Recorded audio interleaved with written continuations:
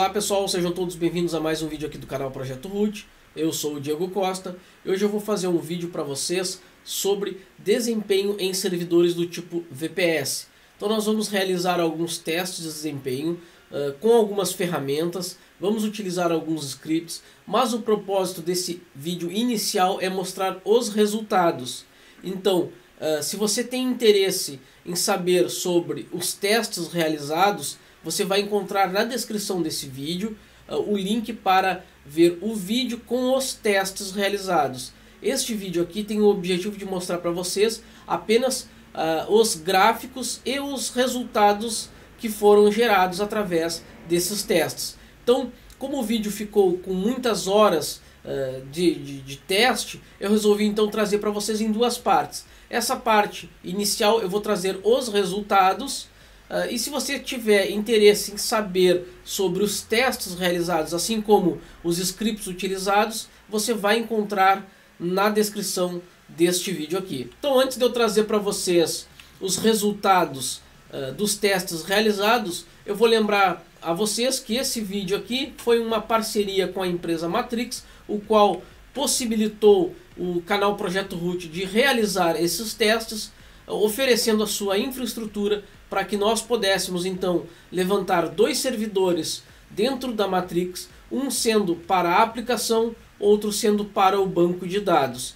Então, desta maneira, foi possível realizar os testes de desempenho tanto dentro da infraestrutura da AWS, como da Microsoft, como também do Google e da Matrix. Então, para lembrar vocês, que este vídeo é um vídeo que foi feito em parceria com a empresa Matrix, o qual tem o objetivo de mostrar para vocês testes de desempenho em servidores. Esse vídeo ele foi dividido em duas etapas, justamente porque o conteúdo ficou muito grande, então uh, nada mais justo do que dividir com vocês todo o nosso material. Uh, apenas para que vocês fiquem bem tranquilos, na descrição do vídeo vai ter toda a minutagem, assim como o link para o vídeo contendo os testes executados. Além do mais, vocês vão encontrar também os links para os testes realizados, ou seja, vocês vão poder fazer o download dos testes. Tá? Então vocês vão ter acesso aos scripts utilizados para fazer uh, os testes nos servidores. Tá, pessoal? Então, Uh, apenas para que fique bem claro, eu vou fazer uma abordagem agora apenas mostrando os resultados. Então eu vou comentar um pouco sobre uh, o, o que foi uh, visto de desempenho em, entre os servidores e assim vocês podem chegar às próprias conclusões. Então é claro que eu vou levantar aqui algumas questões em relação ao desempenho e lembrando novamente que são servidores do tipo VPS. Nós não vamos utilizar nenhuma infraestrutura proprietária das operadoras, das provedoras de cloud computing. Né? Eu, por exemplo, eu tenho ali uma aplicação que eu escolhi instalar, seria a Nextcloud. Eu não vou utilizar um storage do tipo S3, porque apenas a AWS possui esse storage. Então não teria como eu comparar. Então por isso que nós escolhemos dentro do escopo que eu vou apresentar para vocês, apenas o storage local. Tá ok, pessoal? Então, desta maneira é possível uh, realizar testes com máquinas do tipo VPS, todas semelhantes, todas contendo o mesmo tipo de hardware e a infraestrutura é que é diferente. É claro, eu estou tratando de VPS em várias infraestruturas, entre elas a AWS, a Microsoft, o Google e a Matrix. Então, apenas antes de trazer para vocês propriamente os ABICs com os resultados e também os gráficos para que nós possamos compará-los, uh, eu vou lembrar para vocês o escopo deste projeto. Então esse projeto teve um escopo para que possa ser feito todas as escolhas uh, das VPS uh, ah, com as mesmas características. Então vou mostrar para vocês agora aí o escopo e logo em seguida eu trago para vocês os ABICs com os resultados e os gráficos para que nós possamos compará-los. Vamos então olhar o escopo e posterior os ABICs. Então beleza pessoal, então para fazer esse uh, setup, esse cenário, então eu vou mostrar para vocês uh, qual foi o cenário que eu escolhi para fazer esses testes, tá pessoal? Então uh, lembrando, todas as máquinas devem ter mais ou menos os mesmos recursos. É claro que própria infra, dependendo da infraestrutura do provedor, a máquina em questão ela pode fugir um pouco do padrão. Né? Nem toda a, a Cloud ela vai uh, oferecer exatamente o mesmo hardware. Isso é uma característica que não tem como fugir. Mas uh, foi traçado estrategicamente um panorama de quais as máquinas que poderiam ser utilizadas. Uh, nesse panorama, nesse setup que foi escolhido por mim, Uh, eu tracei aqui alguns objetivos. Eu vou mostrar para vocês uma imagem do setup aqui. A ideia é nós termos uma ferramenta, então eu coloquei aqui como aplicação o Nextcloud, onde nós vamos ter uma máquina para o banco de dados, outra máquina para a aplicação e vamos ter o storage local mesmo. Tudo isso para não precisar depender de outras tecnologias que são proprietárias daquela infraestrutura, como por exemplo Uh, se eu colocasse aqui o meu storage num S3 da AWS, não seria competitivo, mesmo que a outra operadora tivesse, né, a outra fornecedora de cloud tivesse também o seu armazenamento. Mas são tecnologias diferentes, então eu optei por escolher um setup simples para este procedimento. Então nós vamos ter aqui uma máquina para o banco de dados, não vamos utilizar nenhum banco de dados da provedora de cloud, ou seja, não vou usar o RDS lá da AWS, uh, ah, ou entre outros provedores, tá? Vou utilizar o próprio MariaDB que vai estar nesta máquina servidora, nessa máquina virtual. Então vou instalar uma SQL nessa máquina, né? Ou MySQL nessa máquina, uh, baseado no MariaDB, é, obviamente. Uh, vou instalar a aplicação Nextcloud e tudo isso uh, não vai ficar para vocês o passo a passo da instalação. Tá? O objetivo desse vídeo ele não é mostrar o processo de instalação. Para isso nós já temos vídeos aqui no canal Projeto Root, o qual uh, eu trouxe para vocês é, o processo de instalação. Aqui o propósito é fazer justamente testes de desempenho. Tá? Então eu só estou mostrando para vocês qual foi o cenário escolhido para executar esse teste. Bom, agora que nós estamos dentro dos Zabbix,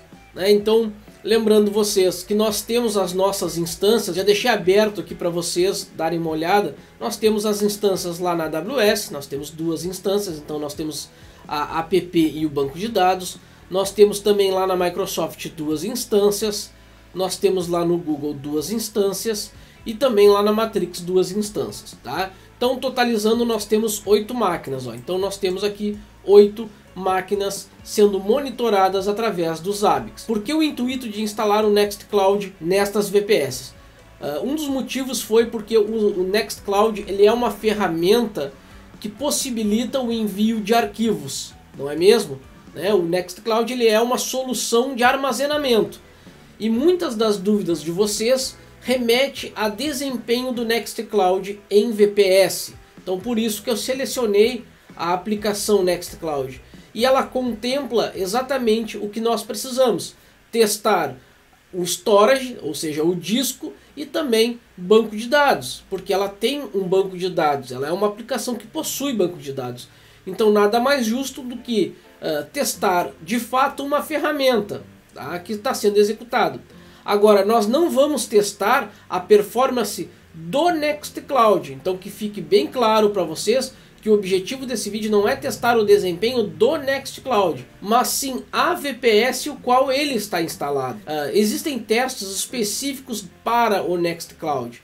Então nós aqui optamos em selecionar VPS todas semelhantes, ou seja, todas com a mesma quantidade de vCPU, com a mesma quantidade de memória, porém em provedores diferentes, para que nós possamos então avaliar se uma infra de um determinado provedor ela é suficiente para suportar então a instalação e a utilização do Nextcloud por uma empresa. Aqui nós temos, além do painel de console de cada uh, cloud, nós temos também aqui as aplicações em pleno funcionamento. Então eu criei um apontamento lá no meu DNS para cada IP destas uh, VPS. Não vou ter acesso ao banco de dados via web. O banco de dados ele está fazendo então um endpoint entre a aplicação que é o, o Nextcloud e o, o servidor, a VPS do tipo banco de dados lá no provedor. Então lembrando que é uma VPS instalada com Linux, não está utilizando nenhuma tecnologia de banco de dados do tipo RDS lá da,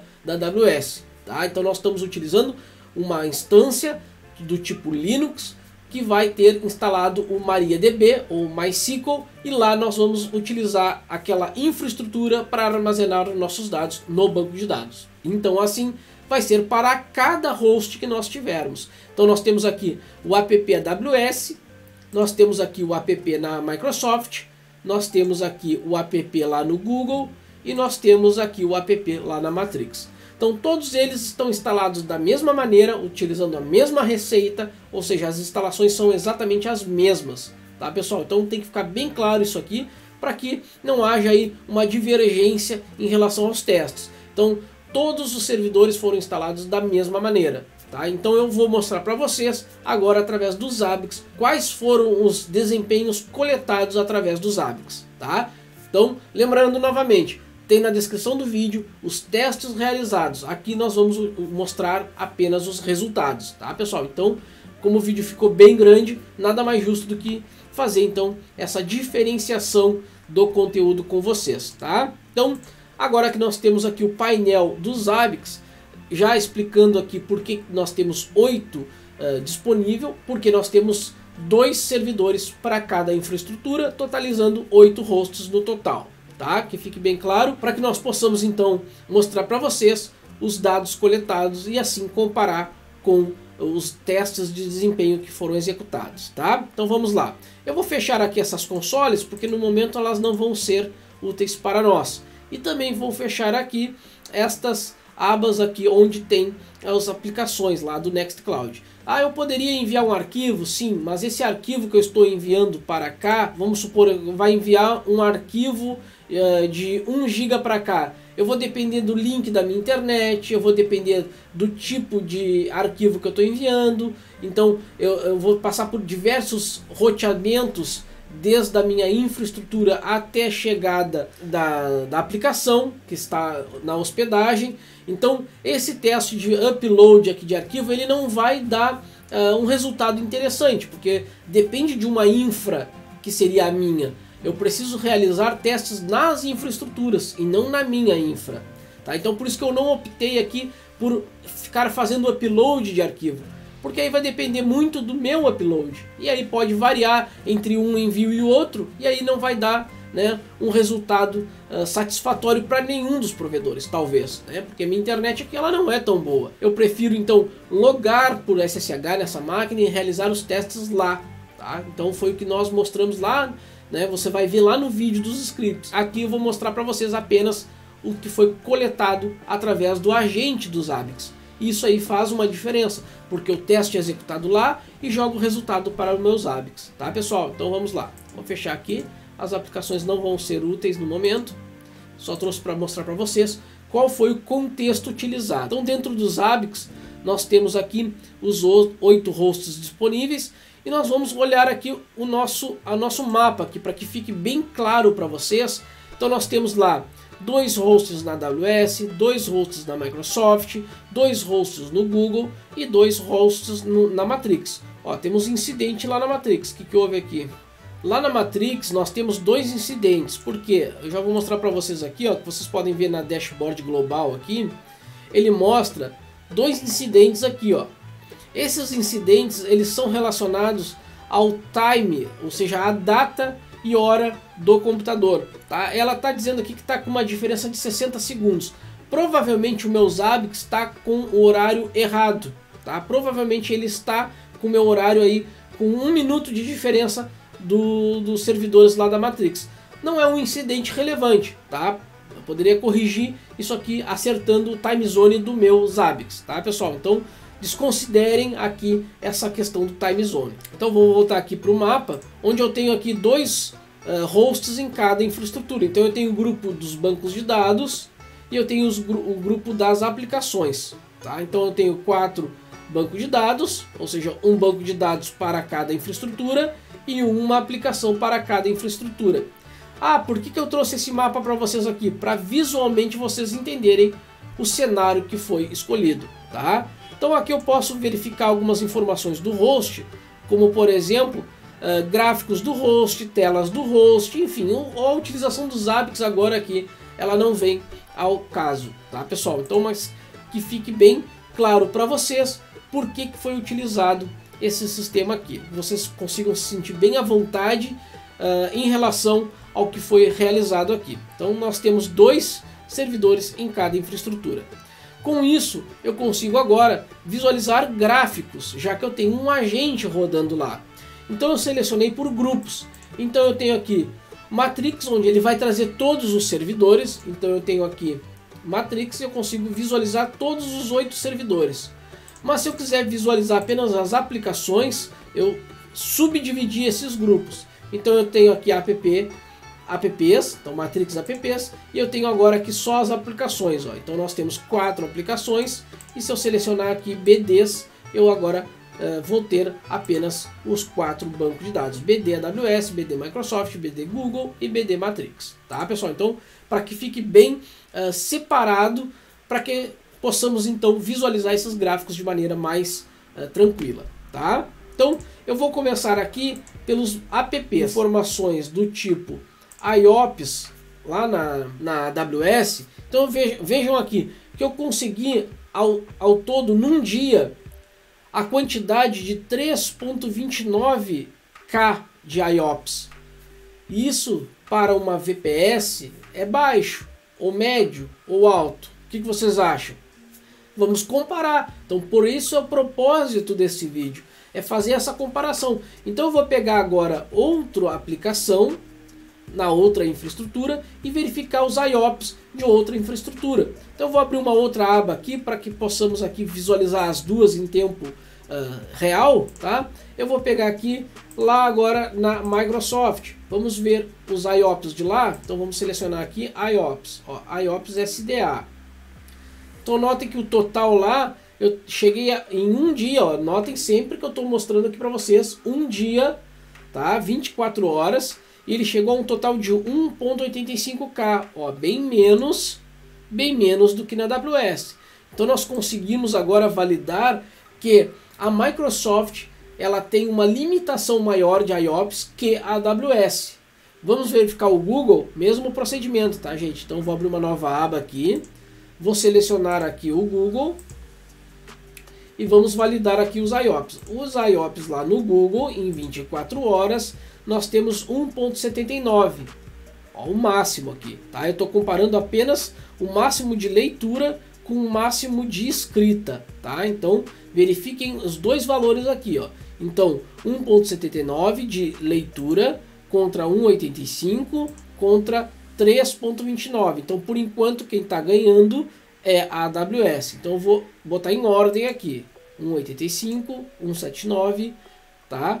4 e 614, olha só, bem baixo a AWS para a gravação, hein? A leitura é rápida, mas a gravação não é tanto. Já lá na, na Microsoft, a gravação é mais rápida do que a leitura. Pode ser alguma tecnologia interna sendo utilizada ali, tá?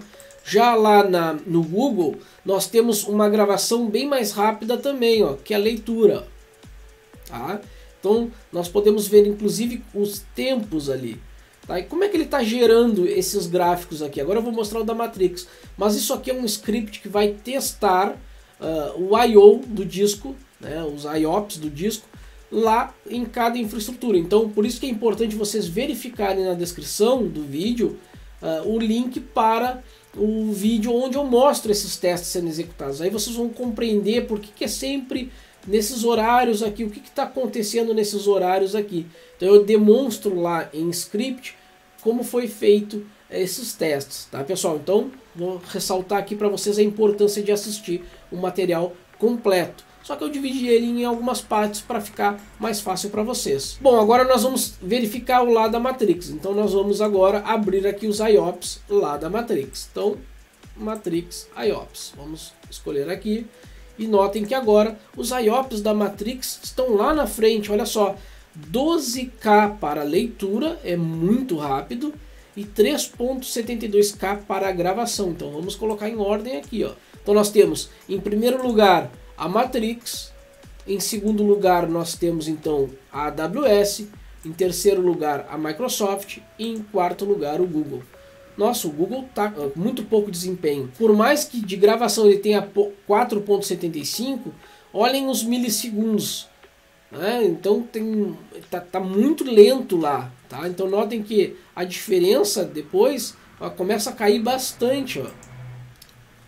Olha o primeiro lugar lá, 27 milissegundos, 95 milissegundos de I.O. Então há uma diferença muito grande aqui. Aqui eu não estou calculando a taxa de transferência, aqui é os IOPS, tá? Então são testes distintos, nós vamos chegar lá, tá? Apenas para que vocês vejam aqui a diferença, tá? Então que fique bem claro para vocês que aqui é um conjunto de coisas. Visualizar agora outros testes. Não tem problema, posso ficar com uma aba só aberta. E agora eu vou selecionar aqui novamente ah, nas aplicações eu vou pegar lá na AWS e vou pegar aqui a leitura e escrita. Então vamos pegar aqui. Então na, nas últimas 24 horas eu consegui fazer uma leitura em disco de aproximadamente 1.36 gigabits por segundo, tá? Nas últimas 24 horas. Ou seja, eu deixei lendo um arquivo dentro do servidor e ele vai ficar sendo executado no formato de leitura Tá? Ele vai ler esse arquivo e ele vai calcular essa velocidade. E a velocidade deu de 1.36 GB por segundo lá na AWS. Vamos abrir para a Microsoft, leitura em disco. Nas últimas 24 horas, nós lemos aproximadamente 8.33 GB. Então, por enquanto, a Microsoft está na frente.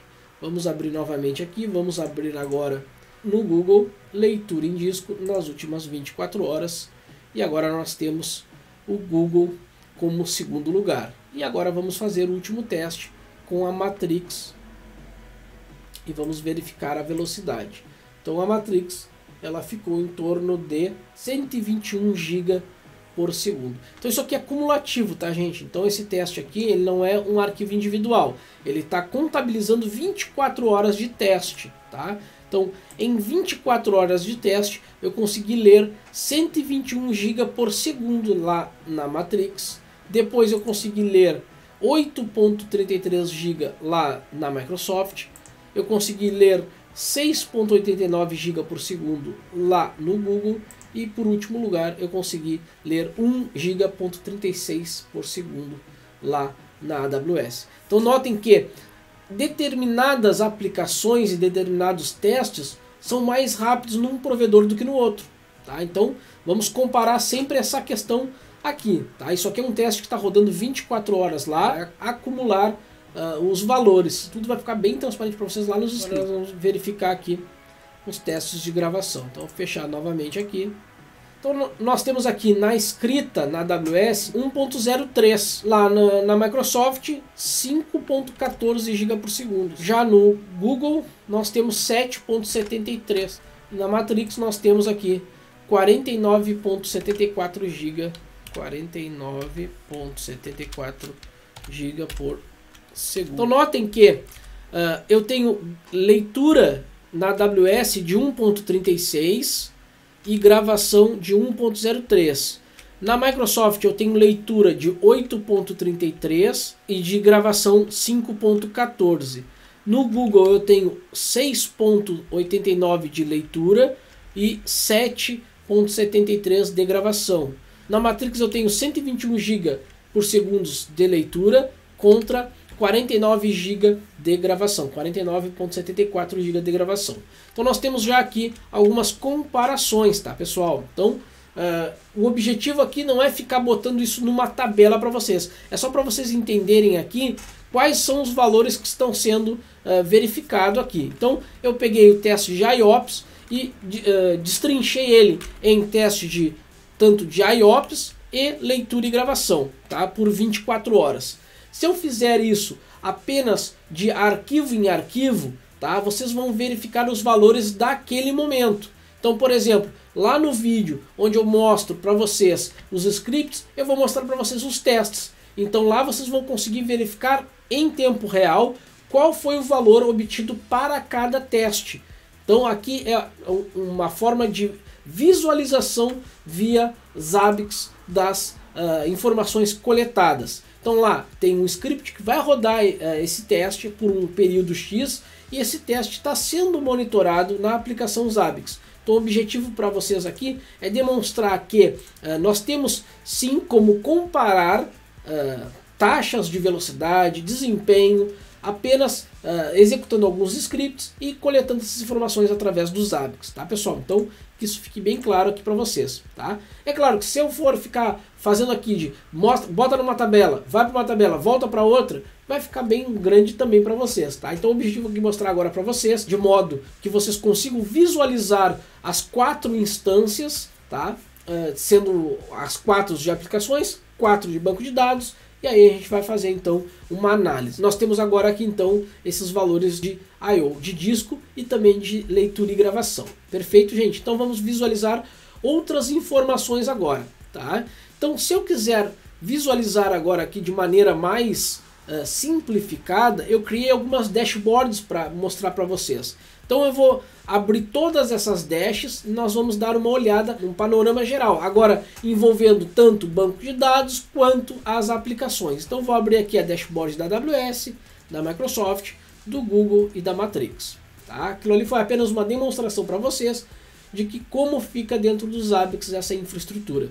Então vou abrir aqui essa dashboard, onde eu vou também trazer os valores das últimas 24 horas. O objetivo aqui é trazer para vocês um overview, tá? Não ficar demonstrando dentro dos ABICs, tá? Porque senão vai ficar um vídeo de 8 horas só mostrando valor por valor comparando. Eu trouxe ali apenas de formato para que vocês vejam os diferenciais né, em relação a disco e agora eu vou mostrar para vocês em um template aqui de uma dashboard para que fique mais visualmente para vocês, tá? Fique bem mais visual, fica mais uh, simples de vocês entenderem esses valores e até vocês podem verificar uh, que existe sim uh, teste rodando e também há uma, um, uma relação com o que está sendo exibido para vocês, tá? Então eu vou pegar as últimas 24 horas de todas essas dashboards aqui. Então eu verifiquei ali que eu estava trazendo as informações do mesmo host, então eu verifiquei aqui que era app AWS e aqui do lado app AWS. Então o comparativo é sempre app com o banco de dados, tá? Então aqui eu tenho a carga do sistema lá na AWS, então tá aqui o valor, ó, 1.59, 0.84, 0.65, 2 vCPUs, enfim. Lá no banco de dados a minha carga já é maior, olha, olha só a diferença, o banco de dados tem uma carga de CPU muito maior na AWS do que na aplicação. Por quê, gente? Porque nesse momento uh, eu não tenho um grande, uma grande quantidade de acesso à aplicação Nextcloud. É claro que eu tenho ali um script que fica uh, visualizando e tentando acessar a página, mas não são pessoas que espalhadas pelo mundo poderiam estar acessando a aplicação. Então é um teste apenas que vai realmente estressar o CPU a cada hora em determinados testes, tá? Mas no banco de dados eu tenho tanto teste de estresse de banco de dados que eu vou mostrar para vocês, mas também eu tenho a própria aplicação sendo utilizada. Então ela consulta, ela valida o usuário quando acessa, uh, o Nextcloud ela também uh, vai informar no banco de dados se está sendo uh, realizado um upload de um arquivo, se está sendo deletado um arquivo, se está tendo acesso a um determinado compartilhamento. Então por isso que tem muito mais carga de sistema lá. Tá? Então uso de CPU aí já é um pouco diferente. Eu tenho muito mais uso de CPU tá? uma média de 50% lá na AWS, enquanto lá no banco de dados eu até tenho picos de 50%, mas são picos, tá? ele se mantém ali uh, muito baixo, tá? então eu consegui utilizar 88% no máximo lá, porém uh, ele se manteve numa média de 1.6, enquanto lá a média no, na aplicação é 20%. Então 20% do CPU está sendo consumido na aplicação. Agora, eu também tenho aqui as conexões do Apache, ó, como eu comentei com vocês. Ó. Então eu tenho tanto conexões recentes assíncronas e também nós temos quantidade de requests aqui. Ó. Então é claro que ele está fazendo um teste, como eu comentei com vocês. Então eu tive ali 17 requests, eu tive uma quantidade máxima de eh, conexões assíncronas fechadas, eh, 53, enfim. São, como são scripts, não são pessoas, esses valores aqui não são tão interessantes para uma comparação definitiva. Mas, agora se baseando no restante, bom, aí eu consigo visualizar aqui a questão do banco de dados. Olha aqui, banco de dados, conexões com banco de dados. Eu consegui chegar aqui a um valor máximo de conexões por segundo 1.23. Então 1.23 foi a máxima atingida de conexões por segundo. Tá? É claro, via script também, tá, gente? Agora aqui as queries é interessante também, ó, eu consigo alguns valores aqui, ó, 7.3k de query por segundo, uh, eh, 7.3 de questions por segundo e não tem nada de nenhuma query com lentidão, tá? Slow queries, né? Queries mais lentas, tá? Agora olha só essa comparação aqui, ó. Eu tenho nas últimas 24 horas uma crescente tanto na escrita do disco quanto na leitura do disco.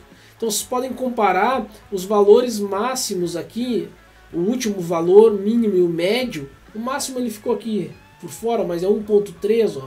Tá ali 1.3, tá? Mas vamos pegar a média aqui, ó. 957, ó, com a 385. Então notem agora aqui também os IOPS, ó. Então, lembrando lá que eu mostrei para vocês os IOPS, ó. 3.29k de máximo por segundo e lá para uh, ah, o banco de dados 41. Ó, o banco de dados ele não é tão requisitado em disco. Agora, uh, já em relação à aplicação, sim. Por quê? Porque a aplicação ela tem storage local. É nela que nós vamos gravar os arquivos. Então, obviamente que dentro do storage local eu vou ter muito mais acesso né, e IOPS do que aonde só tem o próprio banco de dados. Então, é claro, eu vou precisar gravar informações relevantes no banco de dados, que está em disco também. Mas o arquivo, o storage, o armazenamento dessa aplicação está na aplicação, tá? Tá aqui, a app AWS ela tem o storage local, como nós mostramos lá no escopo no início do vídeo, tá? E a largura de banda, ó, um teste interessante para mostrar para vocês também é a velocidade do link de internet. Então, uh, dentro do, do link de internet, nós conseguimos verificar que há uma instabilidade momentânea, mas há uma grande estabilidade. Isso aqui pode fazer a diferença se tu tem uma empresa. Tu não quer lá que a tua aplicação fique lenta por questões da internet, do servidor, do provedor, né, da operadora de cloud computing. Então tu tem que ter ali uma validação que a tua internet não está oscilando tanto do lado do provedor. Então notem que a média lá na, na AWS ela ficou em torno de 2.16, aqui ele bota km bits, mas seria como uh, gigabit. Então seria 2.16 gigabit a velocidade média lá da AWS. Tá? Então lá do outro lado, lá no banco de dados, nós temos 1.53. Então notem que existe uma pequena oscilação aqui. Então lá na Microsoft nós temos aqui uma carga no sistema do lado da aplicação menor tá, do que lá no banco de dados. Lá no banco de dados eu tenho 5.3, enquanto aqui eu tenho 1.93. Tá, pessoal? Então, notem que a carga do sistema aqui, ela pesa para o lado da Microsoft lá no banco de dados.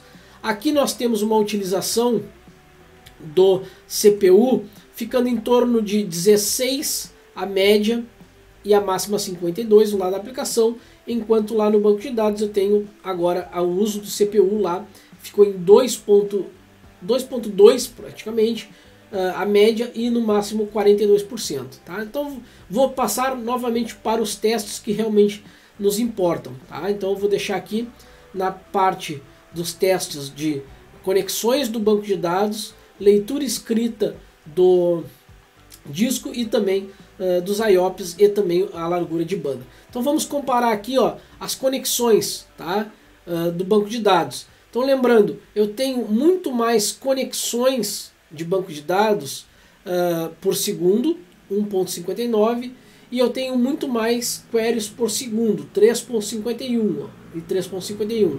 Enquanto na AWS eu tenho conexões por segundo, 1.23. Na Microsoft eu tenho conexões por segundo, 1.59, máximo de 1.59 e 1.23 de máximo. Queries por segundo, eu tenho 3.51k na Microsoft, eu tenho 7.3k por segundo na AWS. Então lembrando que na AWS eu tenho muito mais performance no banco de dados. Ó. Então a Microsoft não está tendo tanta performance em banco de dados. Tá? Então a gente já consegue visualizar aqui. Agora, lá no disco, vamos visualizar que eu tenho no disco uma média, então eu tenho 712 megabits por segundo de uh, escrita contra uh, uma média de 960 megabits por segundo de uh, leitura. Já na Microsoft nós temos uma média de 4.81, ele está atualizando aqui, tá pessoal, por isso que ele está aqui assim, tá? Mas aqui está o valor 4.81 a média de escrita e a leitura é 7.8. Então vamos comparar aqui nesse caso 7.8 contra 900. Ó, a AWS não está em primeiro lugar em disco aqui, ó. Quem está é a Microsoft. Agora vamos dar uma olhadinha lá no Google, tá? Então vamos visualizar aqui novamente. Tá? Os valores ali não, não, não são tão importantes, mas vamos verificar o disco aqui, ó.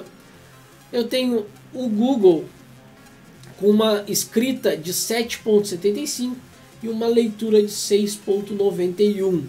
Já na Matrix, vamos pular novamente lá para o disco, vamos visualizar que aqui a Matrix está com certeza em primeiro lugar. Tá? 46 GB de, de média tá? de, de escrita contra a média de 113 GB por segundo de leitura. Então notem que realmente existe uma discrepância muito grande aqui em relação às velocidades. E eu sei o porquê que isso acontece, eu vou falar mais adiante, tá? Os IOPS a mesma coisa, tá? Mesma coisa, os, os valores aqui vocês vão encontrar a Matrix sempre à frente em relação a IOPS, tá? IOPS, leitura escrita, vai estar muito à frente. Largura de banda. Então a média de internet da Matrix é 2.23 a média, vamos pegar a média de, upload, de download e upload, 1.73 de, de upload e 2.23 de download. Vamos verificar aqui lá no Google. No Google nós temos 2.41 GB de download e 1.36 e na, lá na, na Microsoft nós temos 953 MB de download e upload de 710 MB. Então existe uma variação muito grande tá, de link de internet. Uh, esses testes de internet eles estão sendo executados lá nos servidores, tá? Como eu demonstro para vocês lá nos scripts. Não tem teste rodando nos ABICs, tá pessoal? Senão aí depende da minha internet. Os testes estão sendo executados lá nos hosts, tá? Por isso que eu tenho certeza que não existe falso positivo em relação à infraestrutura, tá? Porque aqui os ABICs ele só coleta Tá? Ele só coleta as informações. Tá? As informações estão sendo geradas do lado das VPS. Tá? Então, agora que vocês viram graficamente uh, os, através dos ABICs essas informações, uh, eu vou explicar para vocês por que, que a Matrix tem se saído melhor nos testes. Porque lá eles não limitam os IOPS. Isso é uma característica da Matrix e uma característica positiva, muito positiva. Porque quando tu trata de VPS, a maioria das cloud computing elas têm as suas limitações. Isso é básico. Tá? Eles precisam uh, atender diversos tipos de clientes com diversos tipos de necessidades. Tá? Então existem clientes que eles atendem que não têm uma necessidade de ter um consumo muito grande de IOPS. E eles têm clientes que têm necessidade de um consumo excessivo de IOPS. E como que eles conseguem padronizar isso aí. Eles criam VPS com possibilidades de escolha de IOPS. Quanto maior o IOPS, maior o valor a ser pago também. Né? Então isso é uma característica da própria Cloud Computing. Tu tem mais recursos, tu paga mais. Tu tem menos, ou tu vai usar menos, tu paga menos.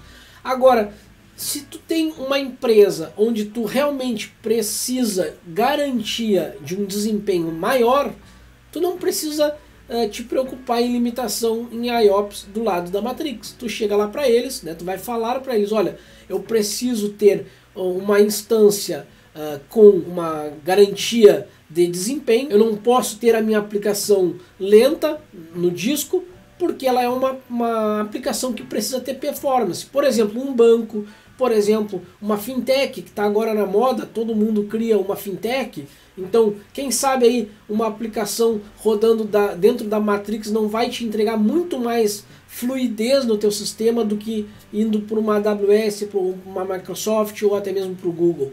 Então, dependendo do teu negócio, é muito mais negócio, né, fazendo um trocadilho aqui, mas é muito mais negócio tu utilizar uma infra uh, de uma empresa local, de uma empresa que está dentro da, da, da tua região, uh, que vai te entregar aí uma qualidade de serviço muito maior do que uma infra que está fora do Brasil. Uma, não, não digo uma infra fora do Brasil, porque a AWS ela atende o Brasil, ela tem infraestrutura em São Paulo, porém ela é uma multinacional. Então ela atende diversos tipos de mercado e segmentações diferentes. Então quando tu pega uma empresa que está em solo nacional, que entende o negócio dos brasileiros, em um momento de crise e redução de custos, tu consegue aí com certeza reduzir e muito os gastos em infraestrutura. E tu vai aumentar certamente o teu desempenho. Porque se tu tem uma VPS, numa AWS, ou até mesmo pegar aqui a Microsoft como exemplo, que nos nossos testes foi aqui, performou de pior maneira, né, em todos os testes a Microsoft ela teve uma piora, tá?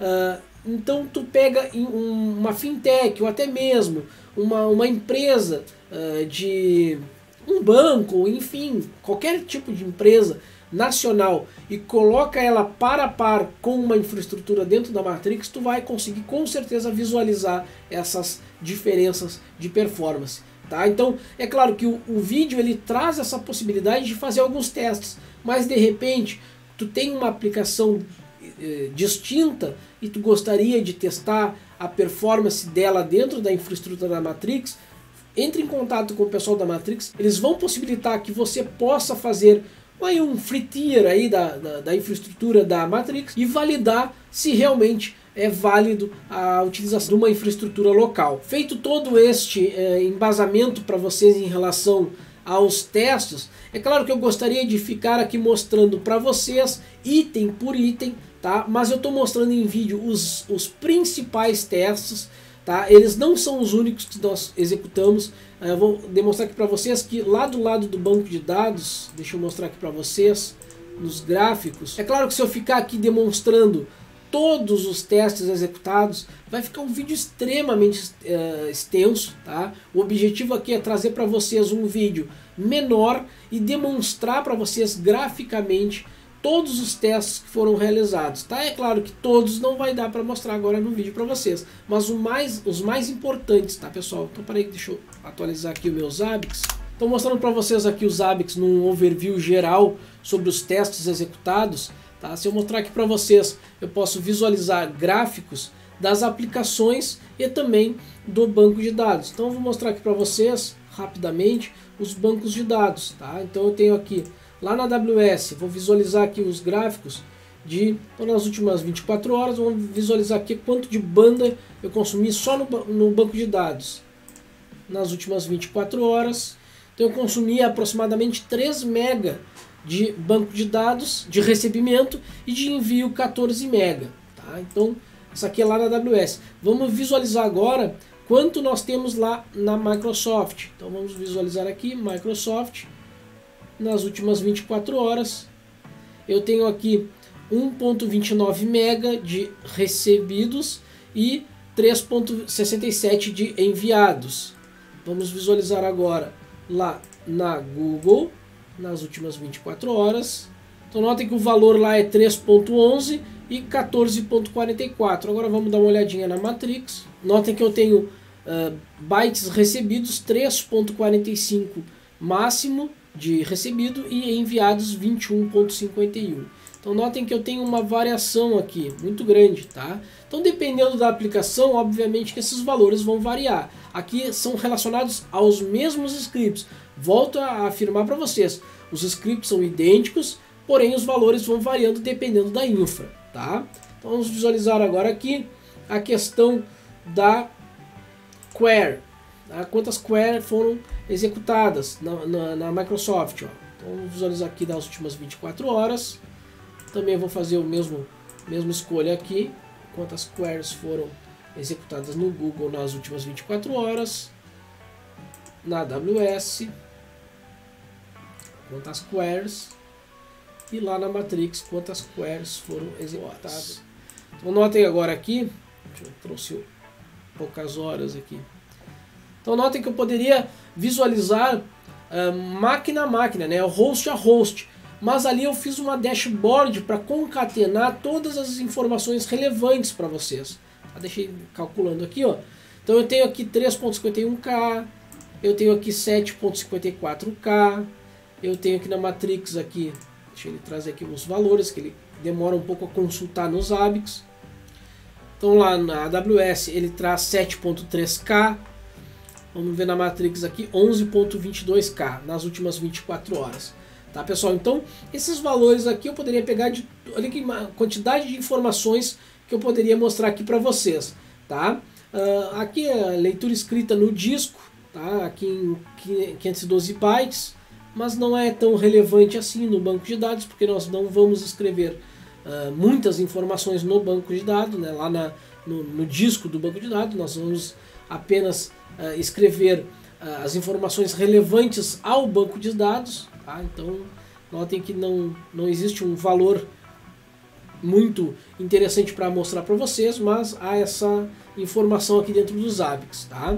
Uma informação interessante que eu trouxe aqui separada para vocês, eu fiz dashboards para cada aplicação e para cada uh, banco de dados. Eu fiz dashboards aqui uh, que podem uh, mostrar de modo individual essas, esses testes ou também em comparativo. Tá? Um caso aqui, por exemplo, eu quero saber qual VPS performou melhor para largura de banda, ou seja, qual teve a melhor desempenho para a internet. Vamos pegar aqui as aplicações e os bancos de dados. Agora eu tenho um gráfico aqui onde eu mostro para vocês as velocidades de internet, apenas as velocidades de internet. Então eu tenho, consigo visualizar aqui que eu tive uma velocidade de download de 2.59 gigabit, vamos botar aqui que o Zabbix traduziu para km, tá? Uh, de, de download na AWS, 2.27 de upload. Tá? Então, lembrando, esses testes aqui eles fazem uh, com o, o, provedor mais próximo né, de testes. Tá? Então, aqui eu tenho essas velocidades, 2.59, 2.27, 900, a Microsoft como é muito lenta, que a, velocidade máxima dela 1.79 e 959 de upload, ó, bem baixo. Ó. Lá no Google 3.4 GB de velocidade de uh, download e upload de 1.79. Lá na Matrix 2.82 GB por segundo, né? Então, vou botar aqui 2820 megabits de, de velocidade de download e 2.19 uh, gigabits por segundo de velocidade de upload, tá pessoal? Então, uh, notem que por mais que aqui lá no Google eu tenha 3.4 de download, uh, o upload ele é bem baixo também. Quer dizer, bem mais baixo do que os 3.4, né? Não é que ele é bem baixo, mas ele é bem mais baixo que o 3.4. Então existe aqui na Matrix uma variação muito pouca entre o upload e o download. Tá? Uh, da mesma forma que aqui na AWS também existe uma variação muito pequena entre o upload e o download. Agora na Microsoft aqui tá, tá pecando aqui bastante a infraestrutura uh, de internet da Microsoft. Tá? Então lá no bancos de dados, nos bancos de dados também existem os testes as variações são próximas, tá? Então notem que aqui eu tenho 2.93, 2.29, 3.4, 1.55, 1.72. A AWS se mantém aqui nos bancos de dados exatamente os mesmos valores. Uh, a Microsoft uh, mantém também essa variação bem grande, tá? Então aqui eu fiz essa dashboard separada. Outra dashboard interessante é as queries aqui, ó, que é relacionado ao banco de dados. Essa dashboard aqui, ela justamente vai trazer as informações de quantas queries por segundo, quantos inserts, quantos deletes, quantos updates, todas as queries relacionadas aos bancos de dados nas últimas 24 horas. Vamos botar aqui, ó. Então isso aqui é bem importante, tá? Eu mostrar para vocês porque aqui eu consigo validar uma coisa bem interessante, uma característica bem interessante, ó. A AWS, ela limita a IOPS por ela oferecer um sistema de banco de dados, tanto ela quanto as demais, uh, elas também têm limitações no, na, nas queries. Olha só, eu consegui chegar a 7.3K de query na, na, na AWS. Na Microsoft, lá eu consegui chegar a 3.51K, já reduziu bastante. Lá no Google 4, ou seja, então nós por enquanto temos primeiro lugar a AWS, segundo lugar o Google, terceiro lugar a Microsoft. Agora olhem a diferença da Matrix. 10.23K de query. Então, lembrando, se vocês olharem os gráficos aqui, vocês vão perceber que os testes são executados ao mesmo tempo em todas. Tá? É claro que tem diferença de horário um pouquinho, às vezes é segundinhos ou talvez um minuto, mas são as mesmas queries que estão sendo executadas. Novamente, vocês vão comprovar isso aí no vídeo onde eu mostro os testes sendo executados. Aqui é somente um overview e trazendo os resultados para vocês. Aqui eu só estou trazendo de, em formato gráfico o resultado dos testes coletados através dos APICs, tá pessoal? Então lembrando, se vocês quiserem verificar os, os testes executados, vai estar na descrição desse vídeo uh, o link para o vídeo do conteúdo completo, que talvez seja até maior do que esse vídeo aqui, tá? Então, nós podemos acompanhar aqui quantidade de delete por segundo, insert por segundo, select por segundo, update por segundo e um total de queries por segundo. Tá? Então notem que aqui eu tenho ali uh, ah, 565 mil uh, query por segundo, tem os valores ali 28.1799 uh, ah, de delete, enfim, cada uma delas, tá? Vocês vão acompanhar ali quantas queries ela fez, tá? Aqui ó, o teste só de leitura, teste só de escrita, só, só de select, enfim, cada teste vai determinar aqui a quantidade, mas a média no total aqui eu tive 6.77 1.91, 7.54 e 11.08K. Tá? Então notem que a quantidade de query ela vai influenciar uh, no, nos testes de desempenho. Tá? Então outro gráfico interessante que eu trazer para vocês é a leitura escrita nos discos dos aplicativos. Então, como eu comentei lá, é o storage, eu tenho aqui um total de uh, 1.4 gigabits por segundo de leitura contra 1.06 de escrita. Lá na, na Microsoft eu tenho 8.38 GB por segundo de leitura e 5.17 de escrita. Lá no Google nós temos aqui 6.93 GB por segundo de leitura e escrita 7.78. Já lá na Matrix, olhem só a diferença, de 122 GB por segundo de leitura, 50 GB de escrita. Isso aqui é um acumulativo de 24 horas. Se quiser ver em tempo real, ainda posso visualizar isso aqui em tempo real. Então, como conclusão do vídeo, eu gostaria de deixar aqui alguns pontos positivos em relação às infraestruturas testadas. Em grande parte, a infraestrutura da Matrix ela se deu uh, com maior performance em diversos tipos de testes, como por exemplo I/O de disco, uh, largura de banda, leitura e gravação em disco, a utilização de SQL, os, os bancos de dados tiveram muito mais desempenho na infraestrutura da Matrix, Uh, mas é claro que as outras infraestruturas não são tão ruins, tá gente? Só que nesse caso aqui, nesse teste, uh, elas performaram melhor dentro da infraestrutura da Matrix. Tá? Então eu gostaria de deixar isso como uma conclusão do vídeo para vocês, uh, para que vocês levem em consideração os testes executados nos scripts que vão estar no link da descrição deste vídeo. Você vai ter acesso à metodologia utilizada, ao script utilizado e a, ao escopo desse uh, projeto. Tá, pessoal? Então, lembrando, esse vídeo ele tende a mostrar apenas os resultados e no vídeo posterior eu vou mostrar para vocês como foi testado.